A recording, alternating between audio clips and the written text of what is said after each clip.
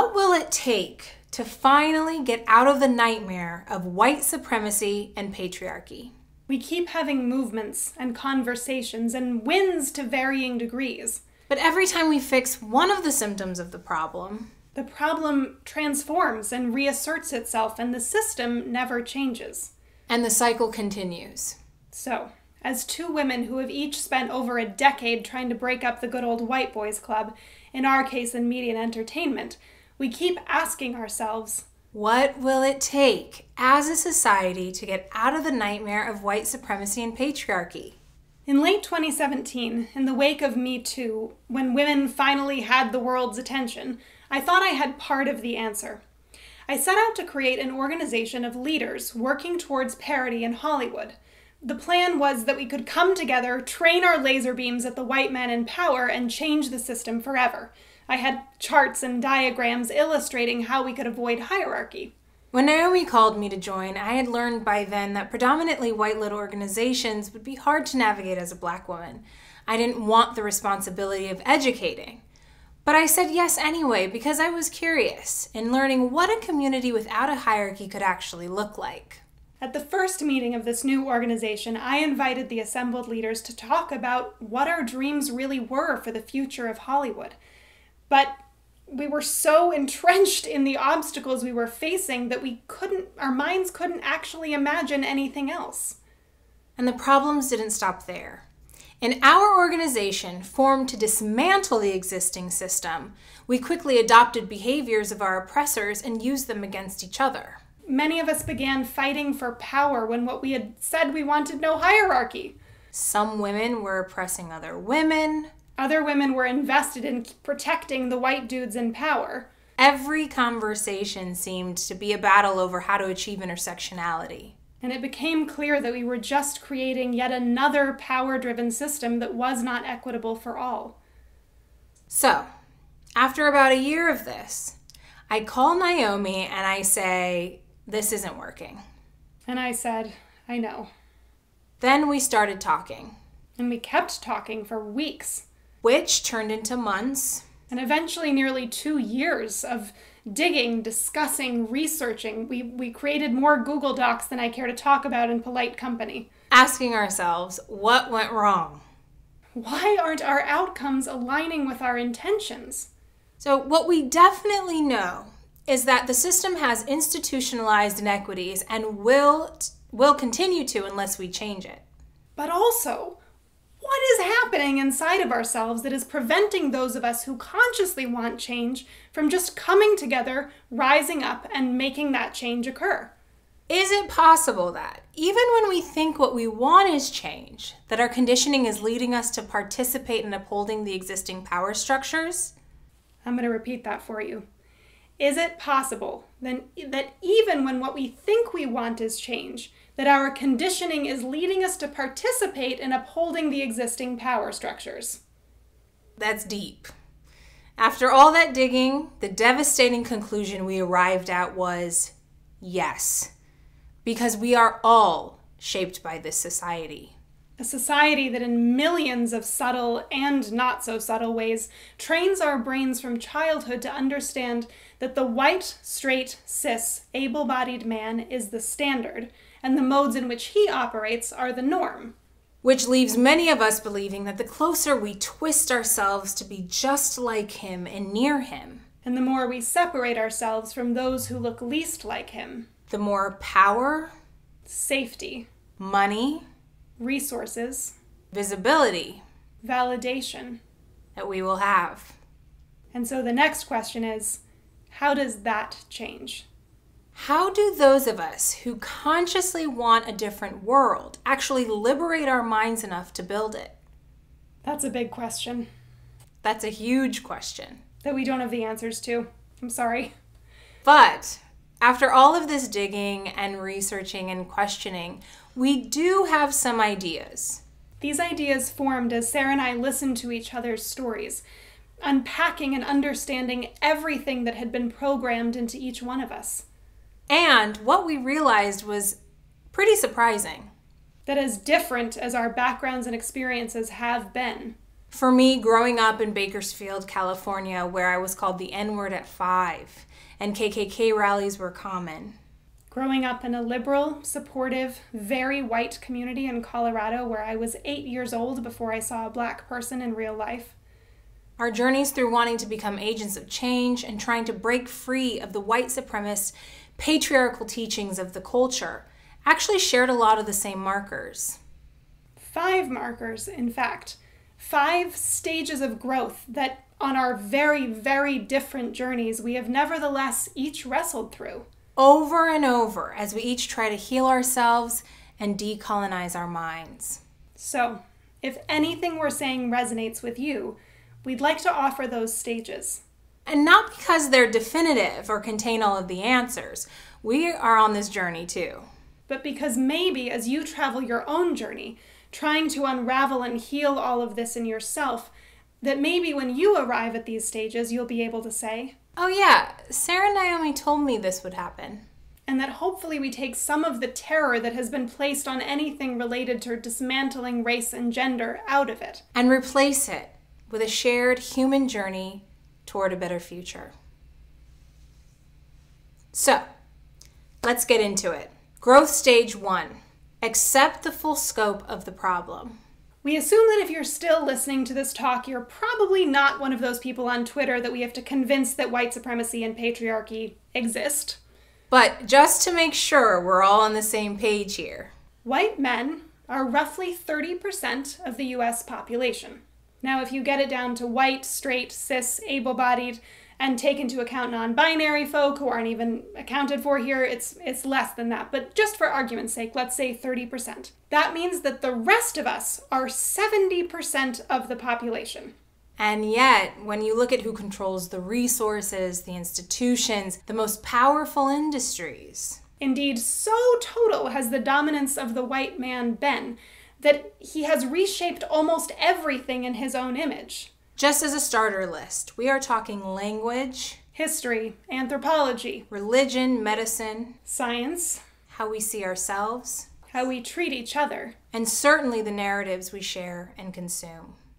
We could go on, but in the spirit of trying to understand and accept the full scope of the problem, let's think about it this way. Imagine that the white supremacist patriarchy has wrapped your head in hundreds and hundreds of layers of gauze, okay? So that you cannot see anything else. No light, just that white gauze.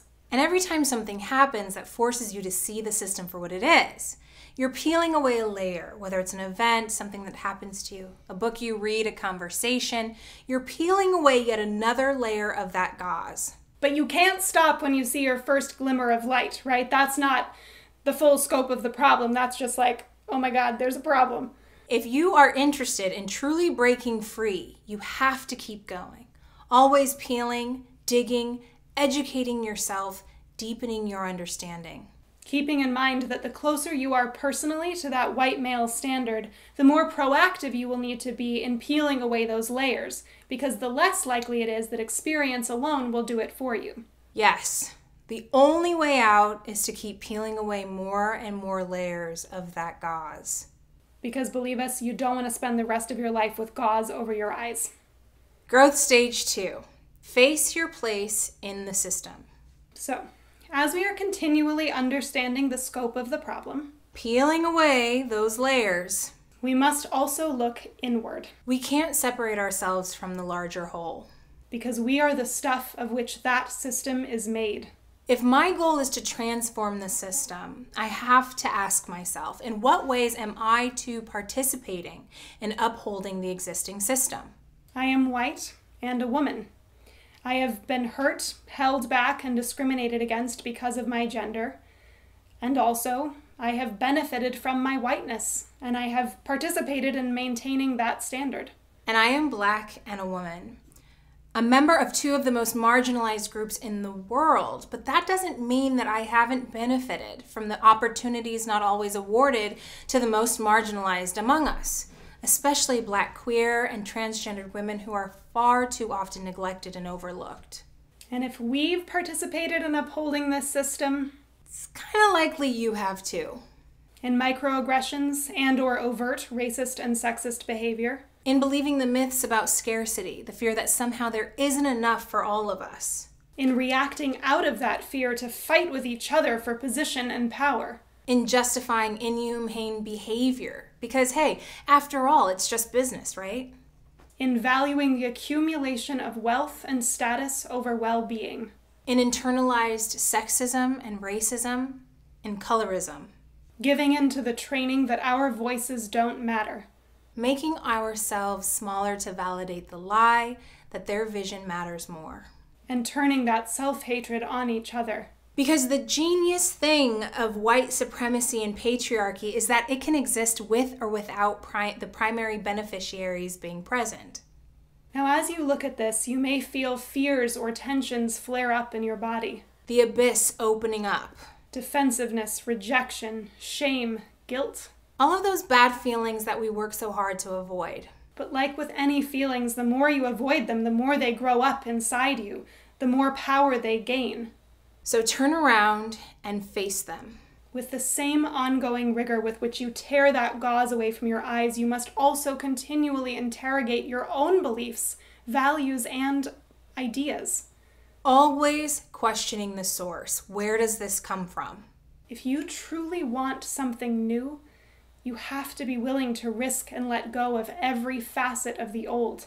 Values around money and history, culture, the stories we tell ourselves about ourselves. If you truly want something new, you have to be willing to do the work of becoming your own human being. What we're asking is hard. And it's going to bring grief. Growth stage three grieve and release. I grieve a torturous feeling of having to break apart and destroy the toxicity that remained in my mind about the times I failed to show up for myself and for my community, about how I bought into lies and narratives designed to limit and hurt me. I've been angry, angry at the system, yes, but even angrier at myself. The years of my life that I fell into this trap, growing up wanting straight hair or fair skin so that I could be accepted or more desirable to survive, while trying to live up to a standard that was never my own. There is a grief I spent decades avoiding. The grief of looking directly at the fact that every moment of my entire life has been easier because I am white. I and people who look like me have gone to unspeakable lengths to avoid that simple truth. I have wept for that too, tears that are infinitesimal in scale in comparison to the suffering caused by our avoidance. I have grieved to stop avoiding, grieved to my own oppression, anger and indignation at the lies I was told as a child on repeat that women can do anything, reach for the stars, girl power, without ever having anyone explain to me why those things were necessary to say in the first place. We're not just healing our own pain, we are also healing the trauma of generations. Centuries of trauma inflicted by white supremacy and patriarchy. As Octavia Butler said, in order to rise from its own ashes, a phoenix first must burn. So burn. Release. Let it go. Growth stage four heal. Don't worry, we're not going to leave you there on your knees. Alongside the grief, in order to heal our society, we must find a way to heal ourselves. How you go about finding that healing will be deeply personal. I have found healing in meditation. I in Kundalini Yoga and Reiki. In the ugly cries. In therapy. In spirituality and creativity. In community and ritual. You're going to have to discover where that healing can happen for you based on who you are and where you, what you have access to. Ensuring access to healing practices for all is going to be required for our collective recovery. Like with all of this, there are no one and done quick fixes. But the good news is, we know human transformation is possible. If you've ever broken a habit or healed from a trauma of any kind, this work is really not so different from that work. And the exciting part is, as you heal, you get to put yourself back together. Accepting and integrating a new, probably messier understanding of yourself. But this time with the integrity of truth and love. Growth Stage 5 Build a different dream. Now, what we are definitely not saying is that you must cease all external action for change until you go into a cave, fix yourself, and come out pure and ready to do the work. The external systems that institutionalize oppression are real, and we must be impatient in our demands for them to change. What we are saying is that you cannot neglect the internal work and only focus on the external work. Yes, because they are connected. Which means that as you continue your journey of accepting the scope of the problem, facing your place in that problem, grieving and healing, you're going to have to simultaneously continue taking actions to dismantle the system that exists, a system that will inevitably push back. It's going to be messy. This is an ongoing practice, and we are going to oscillate. You can't take it on all at once. Like healing any deep wound, you're going to have to tend to it every day. And you're going to get it wrong sometimes. Remember to extend forgiveness to yourself. And hey, have some forgiveness and compassion for others on their journeys too. We are attempting a mass transformation of human consciousness. We are never all going to be in the same stage of that transformation at the same time. But the other good news is this current reality these current systems started somewhere. Humans began them. We were taught them, which means we can unlearn them and we can change our reality. In fact, we don't even need everyone to get there. According to Erica Chenoweth's research, you only need about 3.5% of a population to activate and dismantle a system. So come be a part of that 3.5%. We're not saying it's going to be easy. We feel overwhelmed a lot. But from our own process, we can honestly say that it can be joyful also. I've had a really good time doing this work with you. Same. I've learned so much. We've learned a lot and we've laughed a lot. And looking back, we've realized that that organization we formed back in 2017 may have actually been a success. It forced us into conflict, which forced us into growth. And growth is actually the whole point. In fact, it is only through growth that we will finally wake up from this nightmare that has always been someone else's dream. Yes. And finally begin to build our own.